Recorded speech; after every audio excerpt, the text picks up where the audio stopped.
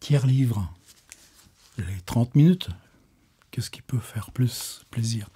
Alors on est le, la 25e, on a fait du lourd. Mais dans les livres qui nous entourent, les...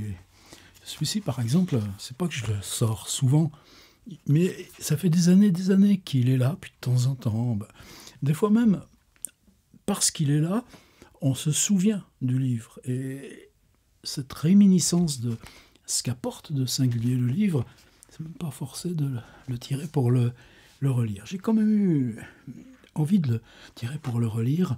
C'est Karl Valentin. Alors évidemment, on peut se dire, c'est du théâtre, hein. théâtre de l'entre-deux-guerres allemand. C'est écrit avec euh, des, des dialogues. C'est quelque chose de légendaire dans le monde du théâtre le cabaret Le Grand Bastringue, tiens, mon copain Charles Torgman qui l'avait monté. Oula, qu'est-ce que c'est? Ben, C'est un recueil de, de mini-sketchs, mais est-ce que pour nous qui ne sommes pas du théâtre, qu'est-ce qui, moi en tout cas, me relie là? Eh bien, C'est ce même univers qu'on trouve euh, chez Kafka. Je veux faire hurler, mais dans cette relation de Kafka au théâtre yiddish, ou alors dans les aphorismes de, de Karl Kraus quelque chose qui pour moi participe de l'absurde. Je ne veux pas surcharger le concept, mais l'endroit où la logique du langage appelle ou convoque ou la logique des choses, la logique du réel, et quand elle se superpose, il y a un tout petit décalage. Croyez bien que Samuel Beckett, par exemple, tout ça, il connaissait. Alors, comme c'est des textes brefs, je vais lire un, c'est pas le dernier, c'est l'avant-dernier, mais c'est celui que tout le monde connaît par cœur. Enfin, en tout cas, vous allez voir que ça va vous évoquer des souvenirs. Et puis, euh, au moins deux autres qui sont peut-être moins connus. On verra si on a le temps dans nos 30 minutes. Qu'est-ce que je l'aime, ce format? On va le régler. Allons, allons, allons. 9, 10, 25, 26, 28, 29, 30. Démarrez, vous voyez que c'est pas du flanc, c'est du frais. Où sont mes lunettes? J'ai oublié de dire que la traduction est de quelqu'un qui s'appelle Jean-Louis Besson, que je ne connais pas, et Jean Jourdeuil, qui était pas n'importe qui comme metteur en scène.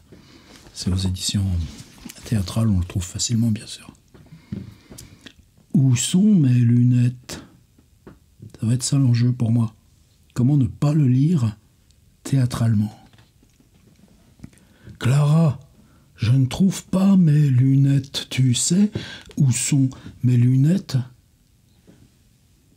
Je les ai vues dans la cuisine. Hier, je les ai vues dans la cuisine. Comment ça, hier? Il y a une heure, j'étais en train de lire avec. C'est bien possible, mais hier tes lunettes étaient dans la cuisine. Mais ne raconte donc pas des inanités pareilles. À quoi est-ce que ça m'avance que mes lunettes aient été hier dans la cuisine?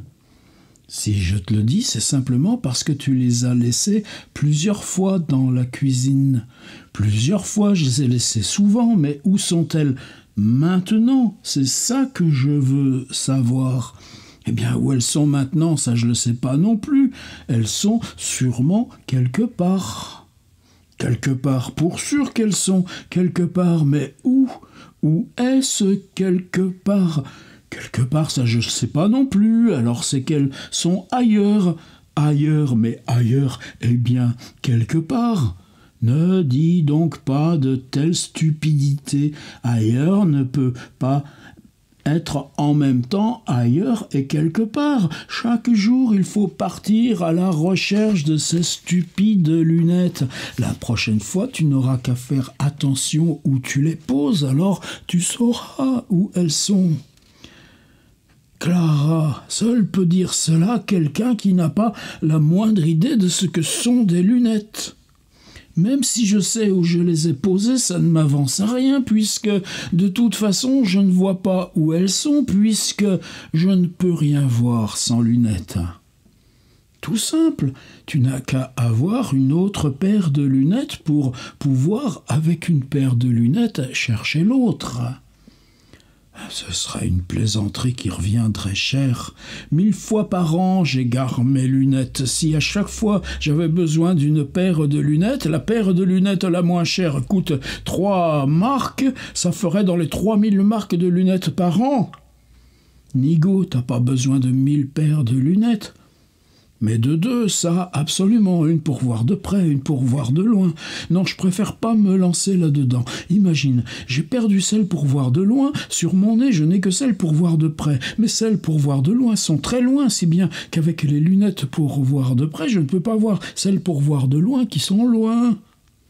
Alors tu gardes tout simplement les lunettes pour voir de près sur ton nez, tu t'approches le plus possible de l'endroit où sont celles pour voir de loin, afin que tu vois celles pour voir de loin avec celles pour voir de près. Mais je ne sais pas à quel endroit se trouve celle pour voir de loin. L'endroit est justement là où tu as mis tes lunettes. C'est bien de ça qu'il s'agit. Cet endroit, je ne sais plus où il est. Ça, je comprends pas. Peut-être qu'elles sont dans l'étui. Ah, ça se pourrait. Elles doivent être là. Passe-moi l'étui. Mais où il est, l'étui? Eh, L'étui, il est justement là où les lunettes sont dedans. Mais une paire de lunettes n'est pas toujours dans son étui. Eh, si, elle est toujours dans son étui, sauf quand je les ai sur le nez. Quoi L'étui? Eh non, la paire de lunettes. Ah, mais qu'est-ce que je vois là? Jette donc un coup d'œil là-haut sur ton front. Mais j'y vois pas là-haut.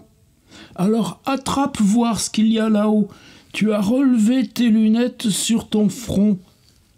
Ah Exact.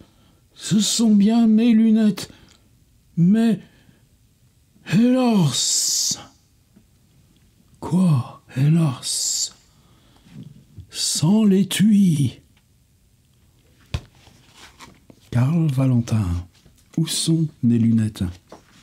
Un autre de suite. Difficulté de transport, le nouveau comptable, conversation devant la fontaine au jet d'eau, j'ai fait un rêve chez le docteur.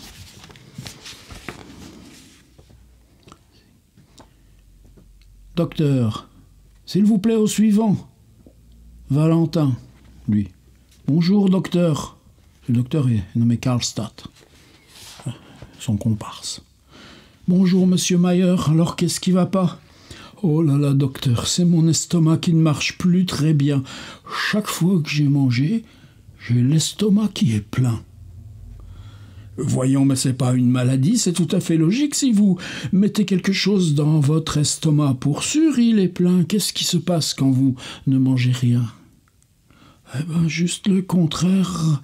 Je sens comme un vide dans mon estomac. Ah, vous voyez, c'est que votre estomac fonctionne bien. Ah, mais alors comment se fait-il que je souffle comme ça quand j'escalade l'escalier? Ah, mon brave, un autre aussi, ça le ferait souffler.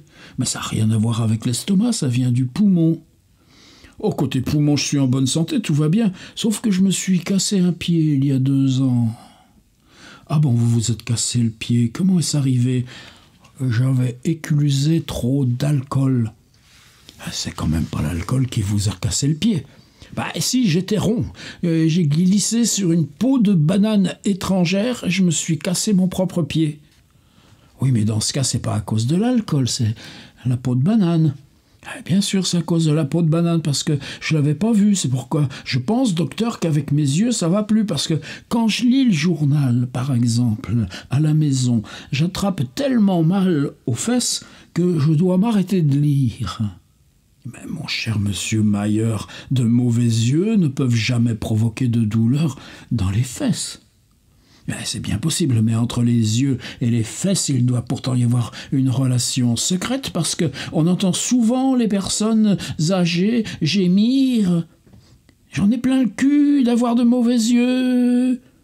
Eh bien, monsieur Mayer, vous n'avez qu'à moins lire le journal et en revanche manger plus de, fruits, car les fruits, c'est sain.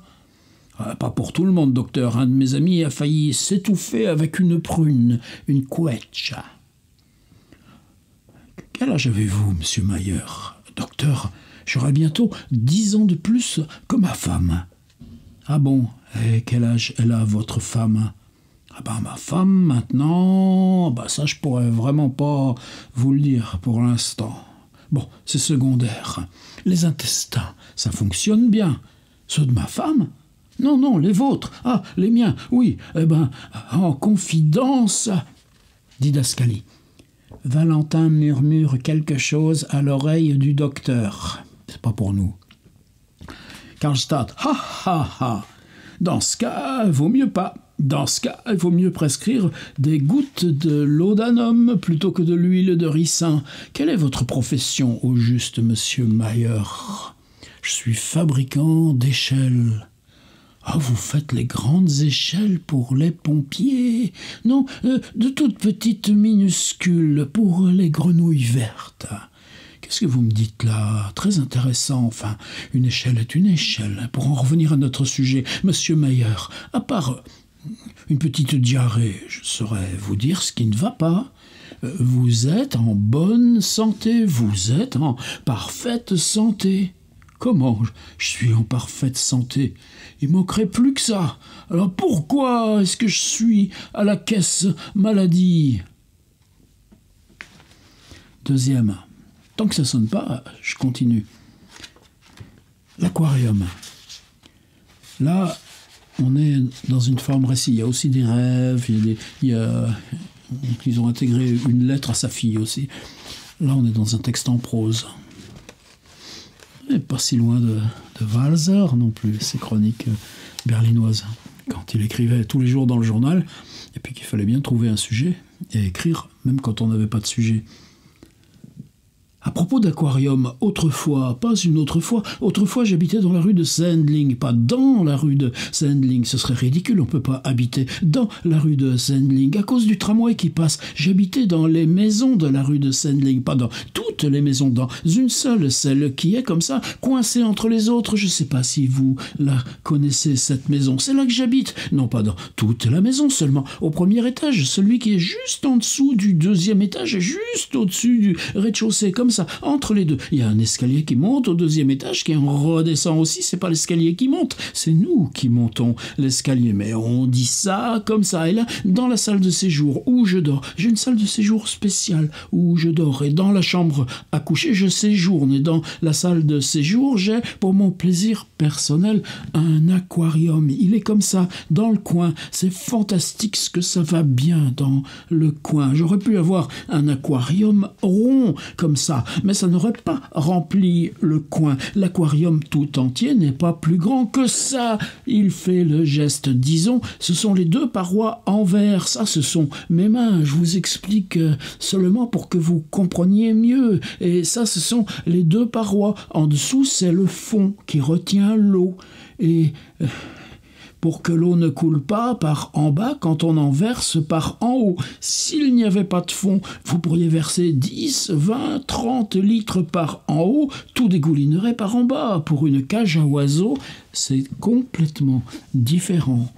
Pour une cage à oiseaux, les parois ressemblent comme ça à celles d'un aquarium, seulement dans une cage, elles ne sont pas en verre, mais en fil de fer. Ce serait bien sûr complètement stupide si dans un aquarium c'était pareil, parce que alors l'aquarium ne pourrait pas retenir l'eau. L'eau passerait toujours à côté du fil de fer. C'est pourquoi la nature fait bien les choses. Et eh oui, et dans l'aquarium, j'ai justement des poissons rouges, et dans la cage, j'ai un petit oiseau, et tout dernièrement, je ne sais pas quelle mouche m'a piqué. J'ai mis les poissons rouges dans la cage à oiseaux et le canari dans l'aquarium. Évidemment, les poissons rouges dans la cage à oiseaux n'arrêtaient pas de glisser du perchoir. Le canari a failli se noyer dans l'aquarium. Alors, j'ai de nouveau laissé tout comme c'était. J'ai de nouveau mis l'oiseau dans la cage, les poissons rouges de nouveau dans l'aquarium, là où c'est leur place. Et alors, les poissons ont de nouveau nagé joyeusement dans l'aquarium, d'abord par en haut, ensuite par en bas, presque chaque jour ils nagent différemment. Mais avant-hier, il m'est arrivé un grand malheur. J'ai vu que les poissons n'avaient pas assez d'eau. J'ai rajouté un seau d'eau. Du coup, il y en avait trop. Et l'eau dépassait de tout ça au-dessus de l'aquarium, mais je m'en suis rendu compte que le lendemain, et un poisson rouge est passé par-dessus le bord, il est tombé sur le sol parce que dans la pièce où se trouve l'aquarium, il y a un sol, et c'est là qu'il était, mais seulement après qu'il eut fini de tomber. Or voilà que le poisson par terre n'avait pas d'eau, parce que, sauf dans l'aquarium, on n'a pas d'eau ailleurs, dans la pièce. Alors, Malogeuse a dit Vous allez voir, ce poisson, là par terre, il va crever. Le mieux, ce serait de le tuer. Et si je l'assommais d'un coup de marteau, me suis-je dit, pour qu'il ne souffre pas trop longtemps tu vas voir que tu vas te taper sur le doigt. Alors je le fusille. Puis je me suis dit, tu vas voir que tu l'auras pas du premier coup. C'est alors qu'il va souffrir. Et le mieux, me suis-je dit, eh, c'est de prendre le poisson et puis d'aller le noyer dans la rivière. Carl Valentin. Je regarde mon petit chrono. C'est génial. On est à la moitié du temps, à peine passé.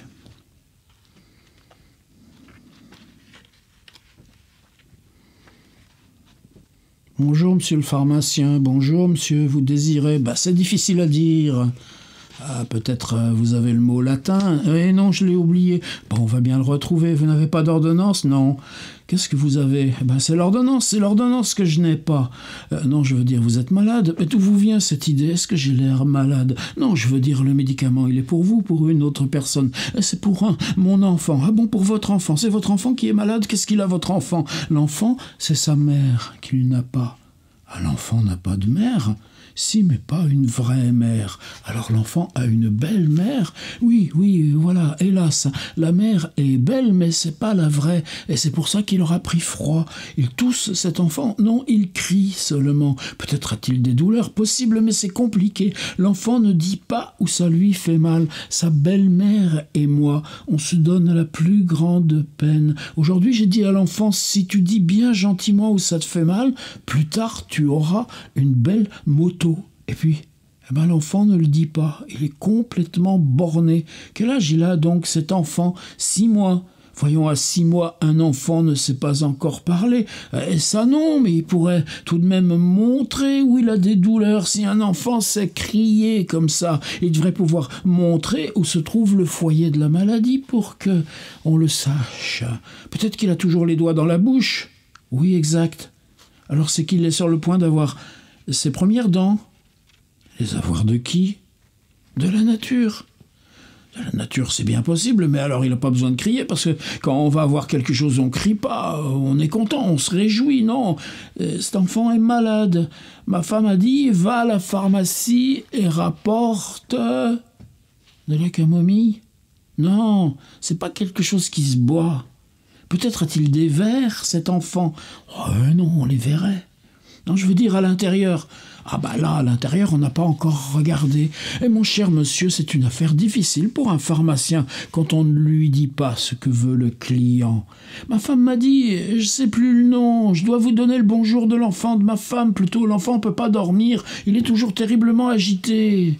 Eh ben prenez un calmant, le mieux peut-être serait isopropylprophémylbarbituracide phénylméthyldimentylaminophrisalolos. Vous dites phénylméthyldiméthylamésophirazolon. Comment ça s'appelle? Isopropylprophémylbarbiturate phényldiméthyldiméthylaminofrisolon. Ah oui, c'est ça. Si simple. Et que j'arrivais pas à m'en souvenir. Ah, je croyais pas que j'en lirais autant, ça passe vite. Hein. Gifle. Mauvaises habitudes. Ah, il y en avait un qui était sur les noms propres. Souci de famille, c'est pas ça. Ça me repose un peu entre deux. Hein. J'ai fait un rêve chez le docteur. Ça, c'est lu. Et c'est pas ce qu'elle veut. Ça vaudrait le coup de le lire. On pourrait faire le sketch de celui qui lit du Valentin. Quo vadis? Oui, il est rigolo, celui-là, peut-être après. Je cherche, je cherche, je cherche celui qui est sur les noms propres. Au début, c'est des choses sur théâtre et cinéma. Le nouveau comptable, page 66, c'est celui-ci. Je le prends parce que je m'étais dit tout à l'heure, ça t'arrivera pas à le lire, c'est trop compliqué. On le fait quand même. Karlstadt Valentin, c'est toujours à deux, un qui s'appelle Karlstadt et l'autre c'est l'auteur Karl Valentin. Donc, monsieur Mayer, vous commencez aujourd'hui votre activité de comptable dans mon entreprise. Oui, monsieur Mayer. Et il y a une certaine fatalité dans le fait que vous vous appelez Mayer comme moi. Oui, monsieur Mayer, mais moi je m'écris Mayer avec A-I et vous Mayer avec E-I.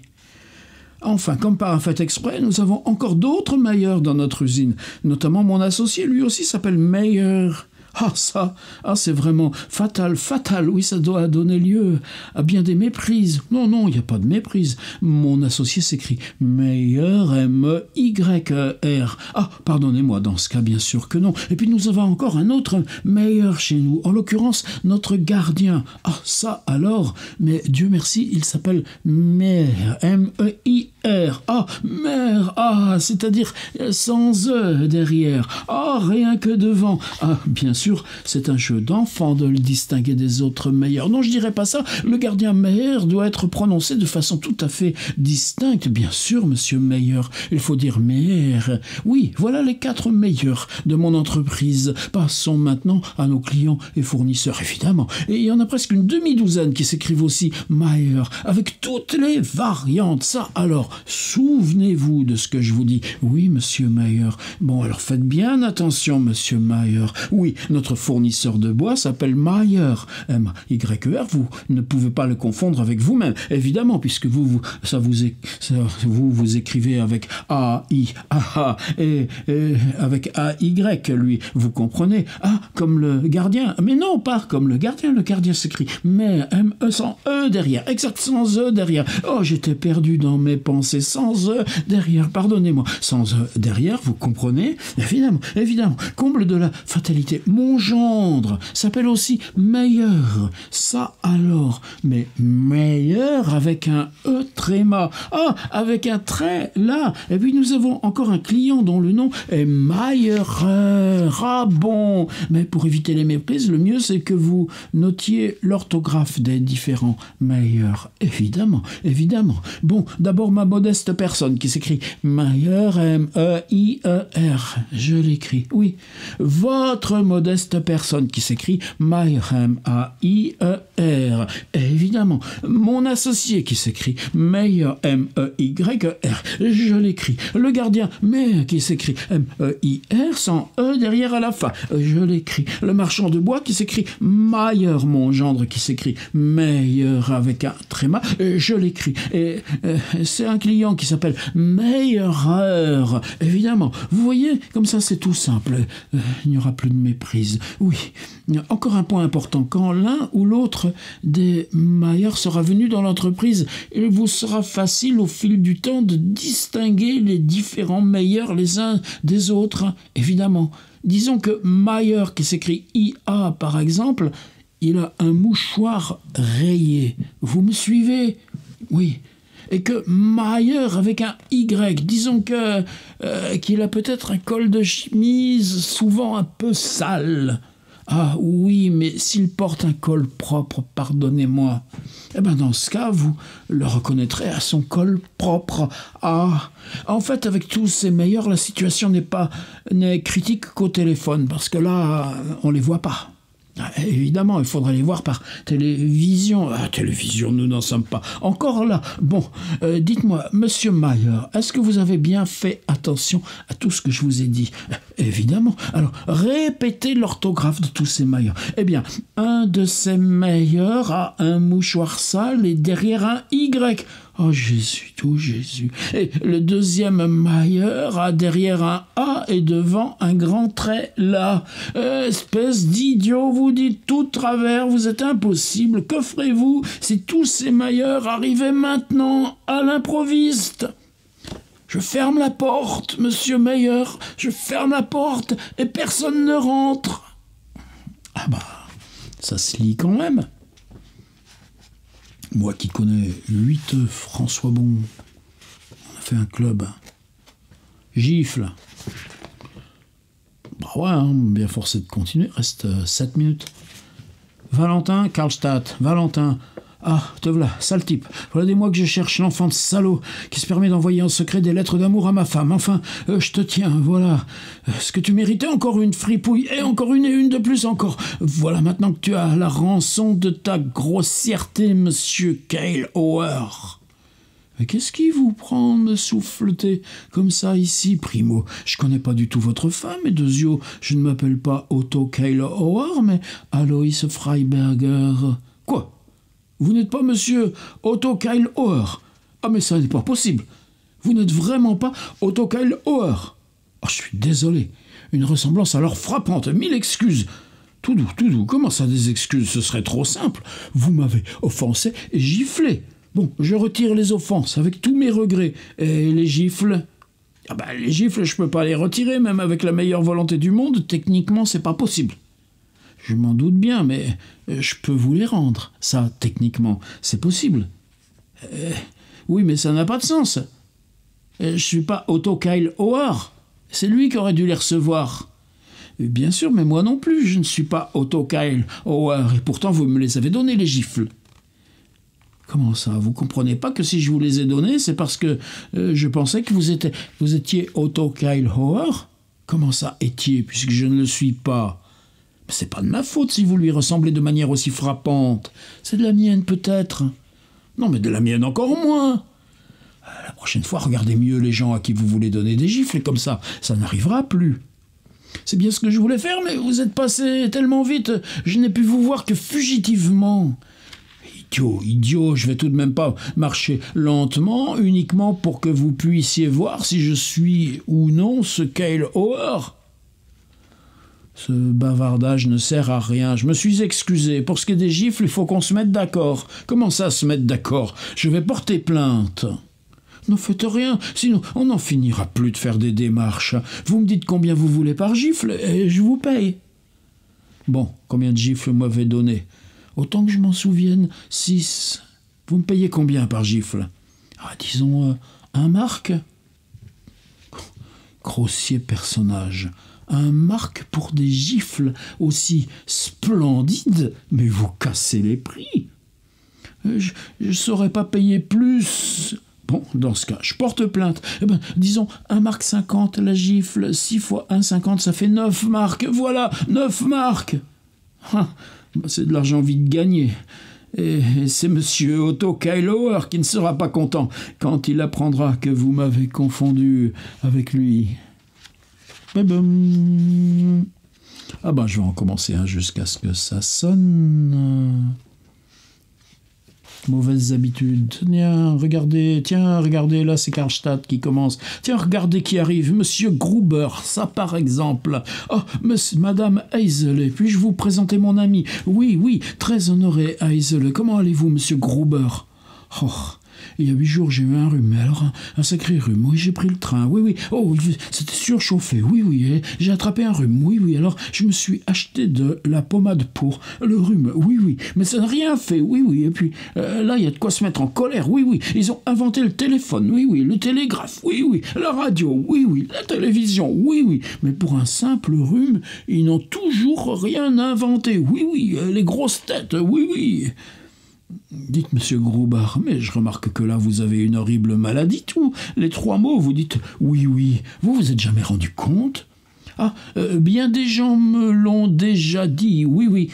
Ah, tenez, vous venez tout juste de le redire, il vous faut perdre cette habitude. Ça deviendrait sinon de pire en pire. Il y a tellement de gens maintenant qui l'ont, cette maladie de dire ah oui, oui, euh, ça devient une maladie, une épidémie. Une épidémie, oh bah ça c'est terrible, oui, oui. Tenez, vous venez encore de nous le redire. Voyez-vous, en 1845, le choléra ravageait Munich. Depuis cette époque, Dieu soit loué, nous avons été épargnés par les pestes. Il y a des pestes, des contagions dangereuses et non dangereuses. Depuis quelques années, Munich et ses environs, presque toute la Bavière, sont ravagés par la oui-huit.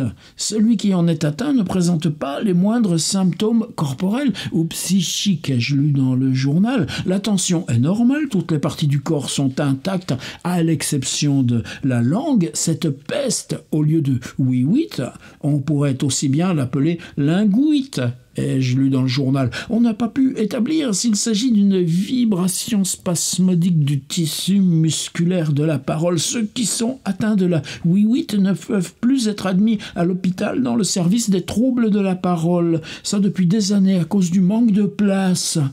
Oh mon Dieu, vous croyez que je l'ai déjà, la oui Oh, pas tant que ça, vous dites oui, oui, à la fin des phrases, mais il y a des gens qui bientôt ne pourront presque plus rien dire d'autre que oui, oui. Dans ce cas, mon ami Wimmer, il a la oui, oui. Comment ça? Vous vous appelez Wimmer? Vous vous êtes présenté sous le nom de oui, oui. Ah oui, parce qu'il peut plus rien dire d'autre que oui, oui. Dis quelque chose, Wimmer.